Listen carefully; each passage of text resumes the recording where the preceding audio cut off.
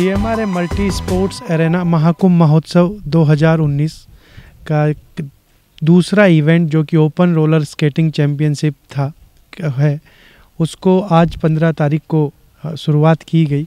इसका इनोग्रेशन हमारे senior IPS अधिकारी श्री सतवीर सिंह जी द्वारा किए गए, जो कि डीआईजी आरसीए हैं। इस इवेंट में साढ़े तीन सौ बच्चे टोटल भाग ले रहे हैं, जिसमें अलग अलग क्राइटेरियाज रखा गया है। फ़र्स्ट कैटेगरी जो रखी गई है अंडर फाइव रखा है, फिर अंडर सेवन है अंडर नाइन है अंडर एलेवन है under thirteen fifteen and seventeen her different different categories age wise हमने रखी है। इसके अलावा इनलाइनर फैंसी एंड क्वाइट ये भी डिफरेंट डिफरेंट जो स्केटिंग की कैटेगरीज होती हैं, उसमें हमने इनको अलग अलग कैटेगरीज बनाया है।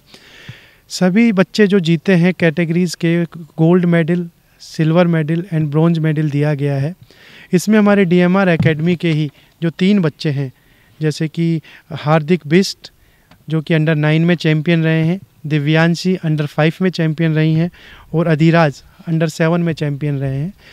इस प्रोग्राम की क्लोजिंग सेरेमनी में Shri Damodar ji Sharma retired IAS additional chief secretary थे।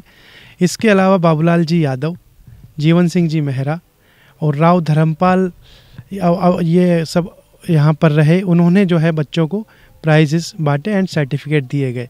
मैं साथ ही में धन्यवाद करना चाहूँगा हमारे जितने भी स्पॉन्सर्स थे, उनका, कि उनकी मदद से ही जो है इतना सक्सेसफुल इवेंट ये हो पाया है।